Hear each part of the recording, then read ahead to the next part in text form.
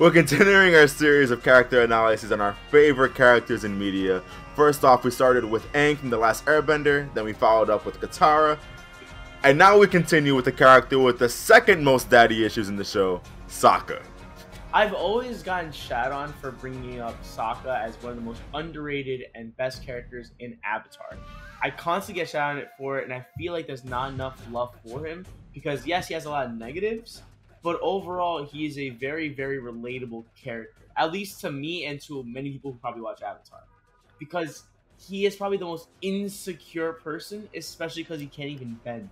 In, in a world where there's what like majority of the characters we know are benders, it's like he's insanely secure in that he doesn't have a father figure. He feels like he's a constant failure. I went back in a lot of episodes and re-listened to a lot of his lines there's a lot of lines where he's like, I'm a failure, or I messed up, or I'm no good. He says that a lot about himself. And as someone who has a lot of problem with self worth and anxiety myself, which is we're getting a little too close and personal with this one, but I feel a strong connection with that character. Which is why I love this character a lot. And I feel like I feel like I'm not sure how deep this goes, but do you guys have the same defense mechanisms? Um in what situation? I don't know, man. I, I, he Sokka out of all the characters in this show, man, Sokka has a lot of defense mechanisms, man. He does. The I, number one, one, the number one is definitely humor. I was just about definitely to say that. Humor. I was about to say that the one that we definitely relate on is we make jokes when we're very, very stressed out. Like that's me. I 100% try to make people laugh, or I laugh myself. I'll make myself laugh. I'm like, ah, everything's fine. And I think Sokka is the same thing. Oh yeah, like the world's burning around me, but it's all good. It's all man. good. At least I got some heat. I caught a fit. Free heat, free heat free? in the winter. I think um, I think Sokka has a lot of positive uh character change in the story. Yeah, I feel like his is probably the one most noticeable ones because there's so many. After Zuko, I'm not saying he's the most. I'm saying he's one of the most. Okay. Yeah. Zuko's definitely uh, more present. Yeah, Zuko is so painfully obvious, oh, dude. but he, it's so obvious that Sokka's plagued by loss and insecurities, and you see that, he, like, he had Suki and his dad remind him that he's more than what he tells himself. And when he when he hears that, it's the first time he starts realizing himself, and he becomes so much more confident. To the point where he's coming up with plans on how to defeat the Fire Nation in the last couple episodes, which is why I love this character so much but that journey to the last couple of episodes, and even still then, is just plagued by defense mechanisms, bro. Yeah. I'm sorry.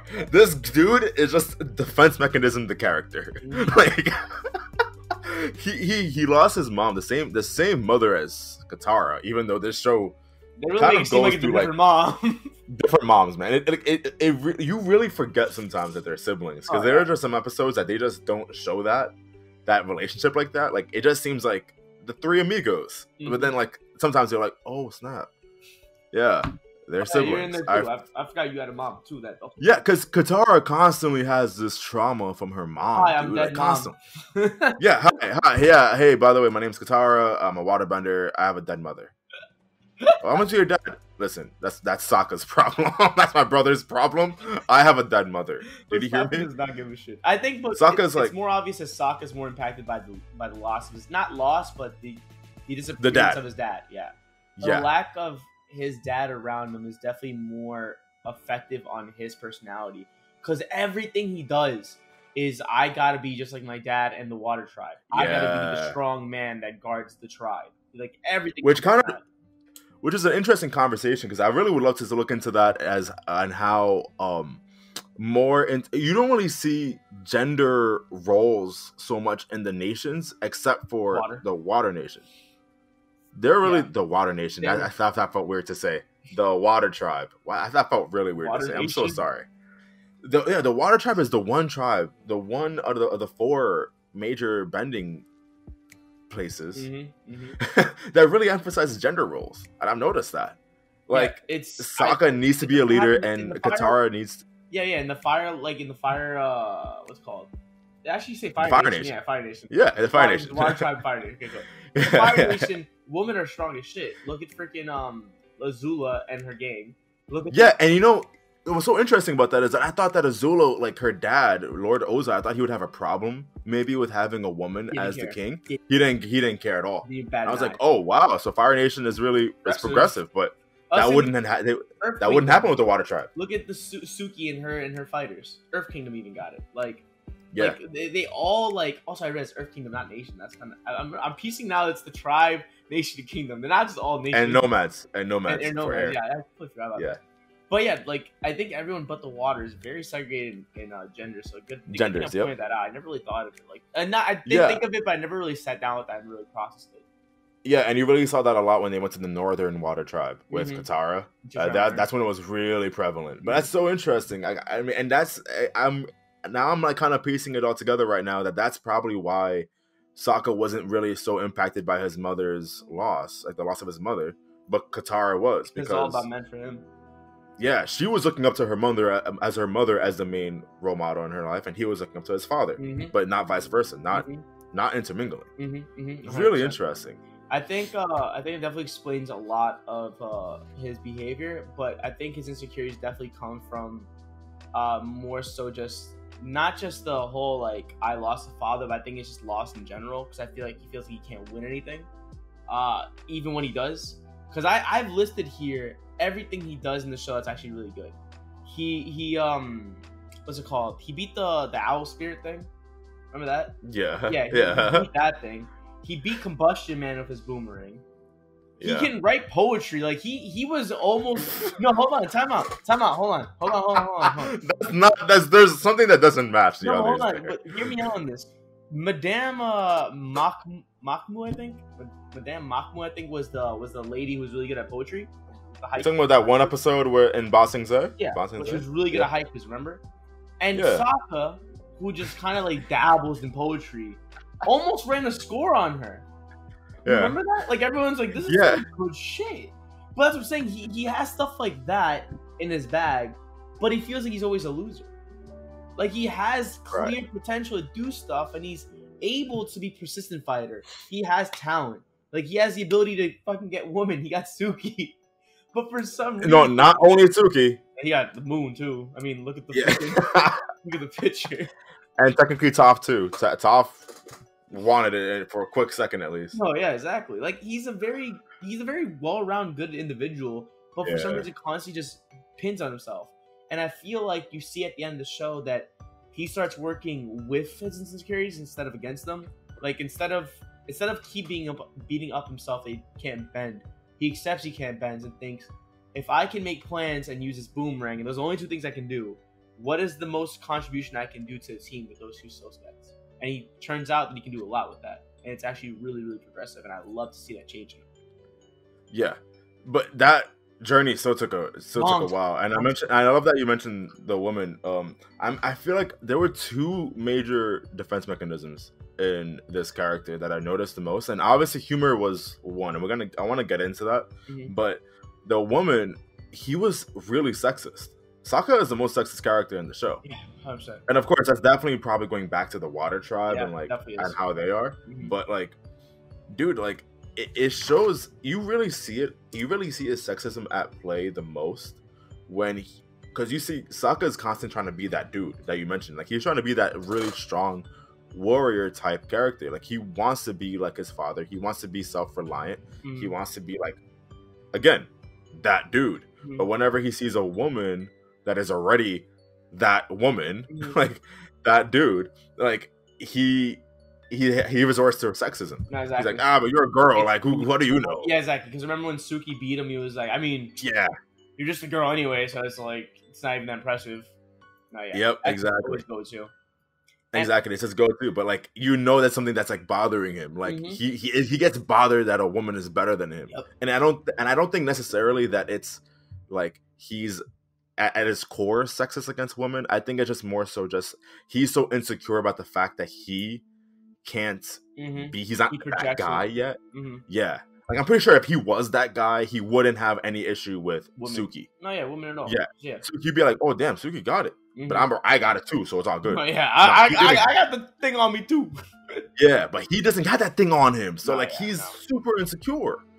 But everything, And I, I think everything. even it definitely. It, so I think it goes both ways. Also, I think when males do it too, he also gets mad. But he definitely gets more mad when females do it. For sure, when No, females he- do it, he gets more mad.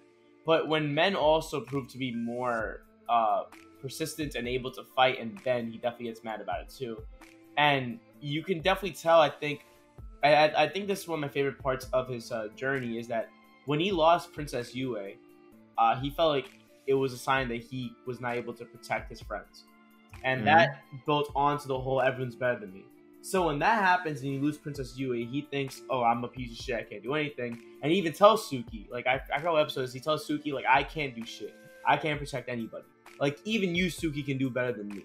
And I think that's like at its core, like you said, that's the real problem. It's not that he's sexist, but there's the problem where he finally admits he's like, everyone's better than me, and I don't think I'm good at all. It's not even men or women. It's just literally I'm just a piece of shit. And I think Yeah. Suki in that episode finally snaps out of him, like, no, like, shut the fuck up. Like you're fine. Like don't put Yeah. Princess Yue sacrifice as your own fault.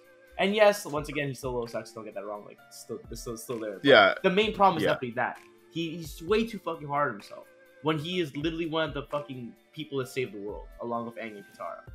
let's not even forget that like it's not even just Yue, it's not even just um Suki, but he also talks about Katara. And Mhm. remember that one episode that he was talking to Toph um at that waterfall or whatever it was. I forgot what it was, but he, he, Katara overheard them. Oh yeah, yeah, yeah, yeah, yeah. And he, he was like, "Listen, Katara was like my replacement mother. When my mother left, all I had was Katara." hmm And I mean, like, listen, like, just really goes to show that, like, he's been so reliant on women this entire time, and yet when he is not the one in the caretaker role, hmm yeah, that insecurity comes out because he wants to be that caretaker. He wants to be that man of the house, but he's not. I think he's a perfect. He's just a little boy in this teenager's body, Really, I think he's a perfect example of what happens when you just don't have actual parents raising you. He thinks he has to do everything himself.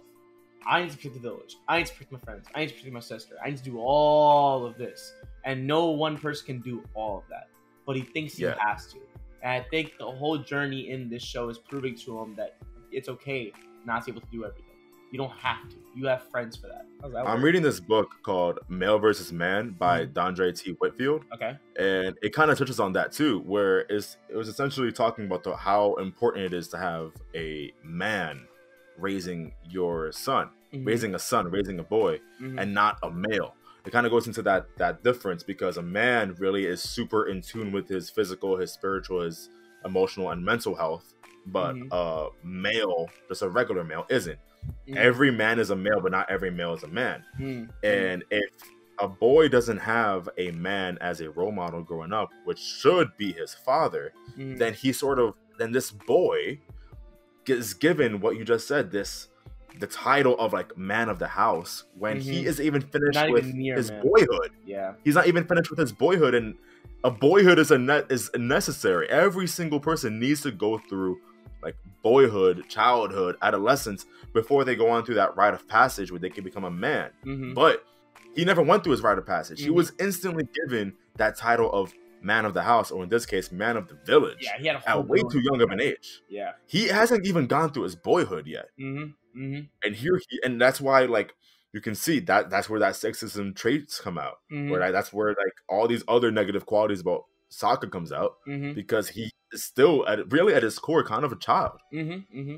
He, he hasn't gone through that. I feel like the closest thing, and you're getting I'm out of pocket, I think, for saying this, but I think the closest character I can relate to Sokka's lack of childhood and the impact this created for him is someone like Naruto.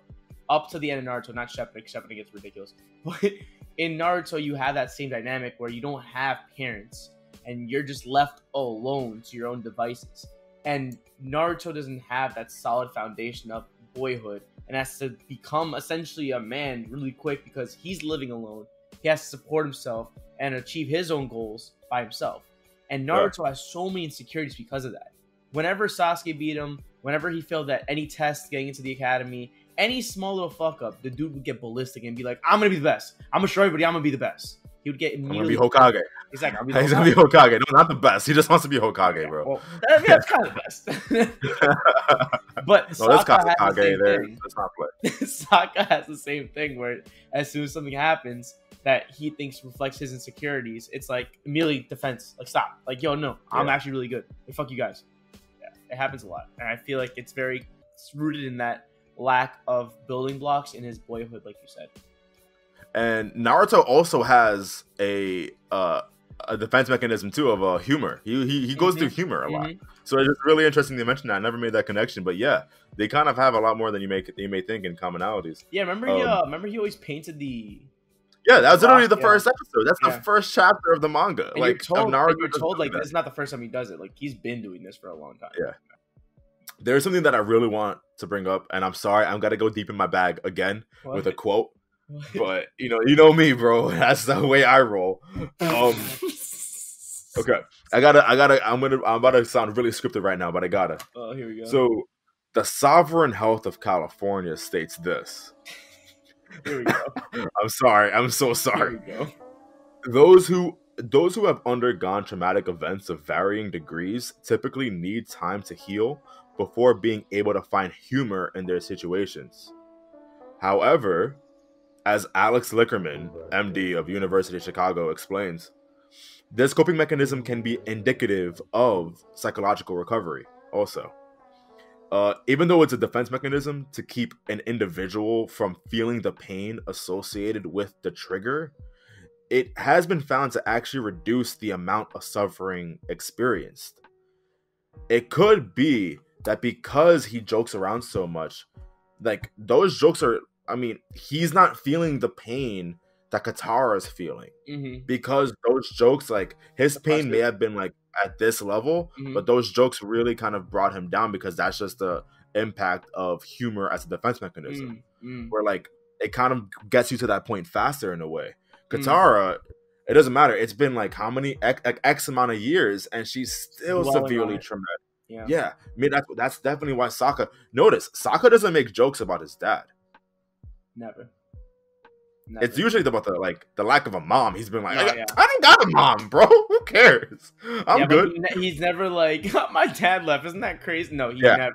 He whenever- never makes a Whenever you mention his dad, he's like, Dad, like he yo he tenses up. Father, that. Papa. yeah, he Fuck never makes a joke about mom. his. Yeah, his mom was like, I don't even know he- her. He'd be doing your mom jokes all the time. He definitely would be, be doing your mom. My jokes. mom. Yeah, he would be freaking Muscle Man from the regular show, bro. I, mean, I don't know. And Katara just in the back, like Sokka, Crying. Why would you do that? Yeah? Katara, is, Katara is like crying, but Sokka is just like making these stupid ass jokes. But that's just both of their defense mechanisms. Yeah. Like Katara is just keeping it all in. Sokka is just like my mom. like, Do you think the way Sokka handles his mom's death is healthy compared to Katara? I think it. I think it's healthier. But Than it's not healthy, right? I don't think it's healthy at all. Well, I, you know what? Out of all the possible things it could have been, it's one of the healthiest. I think. But it's definitely not the best. I feel like he never he never sat down and oh, got Oh, no, he's- with that. He still needs a therapist. Yeah. Right. but I still think that like like he's in a much better place than Katara Yeah, was, and especially I remember that that one scene really got to me when there was that one scene towards the end of uh, book three when Katara was kind of going off about her mom, Mhm. and she was going off at Sokka also, and Sokka was like, "We have I- the same Yeah, mom. I have the same mom, dog. yeah, like we have That's the really same mom. That's really how. I'm reacting." It puts into perspective. It's like, yo, you really think this is about you, but you got to realize, like, Yeah. we're both going through the same bullshit. Yeah, but the thing is, it's also but like his calmness in that situation really is indicative of how he was able to deal with it. Mhm. I really do think that while it definitely materialized in other ways, I think that specific situation though, I think he's in a decent place. I don't think I don't think when Suki and him got married and lived together, I don't think he's like up at night crying to her yeah, about no, his no, he's definitely not. He's definitely not. Yeah. I Katara, I feel like Ang, Aang and Katara married. I think she's Aang definitely definitely was making eggs in the morning. She was like, "These eggs are just like my mom used to make them." Fucking God, shut the fuck up. No, Ang, Aang would not do that to me. Uh, Aang would still be like, "Oh, this conversation again for the 400th time." So what happened? That's the most passive aggressive way of saying, "Oh no, yeah, let's, let's sit down. Let's sit down for thirty thousand times we've done this. Let's go, let's go. No, no, no. Let me repeat you the same bullshit I tell you every time, and hopefully maybe you'll learn your lesson by now. Go on, please. so my mom died at a really early age. No way, really? Mine too. and Aang don't care. That's crazy. Aang, if, out of all the characters who don't have parents, oh my god, does anyone have a mom in this show except for Toph? Um, God, no. Zuko doesn't have one. Yeah. Sokka doesn't have one. Katara doesn't have Suki one. never doesn't have one. Suki never mentions a mom. Everyone has mama issues in this show. You never see Bumi's mom. You never see the Fire Lord's mom. You never see Iroh's mom. There's no Yeah. moms in this shit, dude. There's just no Yeah. moms.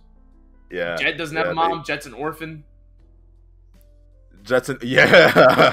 There's just no parents. in Everyone- this. and everyone who has a dad has daddy issues. Yeah, So- no, every dad's a piece of shit. Except for Sokka's dad. Sokka's dad's a real one. yeah, but he's still, he, he, he- they still had daddy issues though. No, yeah, yeah, yeah. But he's still a real one. Yeah, yo, he is. he I, is. I did But you anyway. I, I felt um did you feel like a little bit like oh like a little like happy moment when um when Sokka and, and uh his dad were talking and Sokka was like I forgot what he said. He said something about like, well, who's gonna do this? And then his dad was like, well, you are because you're gonna be fighting with us. And then you can see his Yeah. Sokka's eyes like, I've wanted this forever, and I'm like, yo, I got so hyped for him. it's crazy because you see back going back to what I was talking about, like the male versus man. I think that was sort of his rite of passage. that was yeah, it. I think yeah. that was the moment that he's like, "I'm a man." That's that's No what he's been asking for for the longest time to fight along with his fellow tribesmen. And he finally got the opportunity to, and he was like, "Let's Yep. go, bro. Let's Yep. go." How his character development, just like how you said, like in Naruto, It in right Naruto, char- character, his Naruto's character development ended right when the pain fight. Boom. That's that was Sokka. his character development ended right there. Mhm, essentially. Honestly, after that, he was just kind of just coasting. Yeah, and I think I think Katara's character development sort of like ended, like kind of went to like a stalemate, pretty much when uh she found out the truth about her dad, her, her mom, her mom, her mom, mom that, when she ended up defending against that dude. yeah, Like Aang didn't finish his character development until the last episode. yeah. He- Until he, until, he, until he kissed Katara, I mean, uh, Katara, yeah, it did not end. It was not ending. that was it. That, the minute he finally, the kid's like, all right, now you good. You good now. I'm, I'm good. All the comics are just filler. This is this, is- this is the main thing. And cut. And that's how you end the show, because that's how it ended. That's how you fucking ended. I, it's- I, I don't. No, that's really it. I I, think his character was down to just somebody that grew up without a father figure and a mother figure, but the father figure really impacted him. It created a lot of insecurities that just haunts him like crazy. He thinks he's never good enough, but he thankfully has that positive change throughout the whole story, and you finally see him finally accept who he is in those last couple episodes when they fight the Fire Nation alongside of Suki. So that was a that that was just really good character change, and I love his character for that. Yeah, great character. I always love um I always love for me a good character that you can also point, pinpoint their flaws exactly, Mm-hmm. um, because it just shows how human they are. Mhm. And yeah, Sokka's a fantastic character, and kind of sad that he's not really in Korra. I, cou- I couldn't really see much as uh, what happened to him. he would have been a great leader, dude, if they gave him more time in Korra. Like they could show his leadership. That dude would have been a great. Yeah, leader. yeah. Also, but he, at the end of looks, day, he looks so much better in uh, Korra too. By the way, like they really Every- off him. he's Dominican. no, he's just thinking about Aang. No, Angus Aang He's looks Puerto Puerto Rican. Rican. Sokka and Katara, come on, especially Sokka's haircut. No, yeah, You know Sokka's Sokka haircut smoke. is OD Dominican, bro. Sokka smokes hookah and Boston.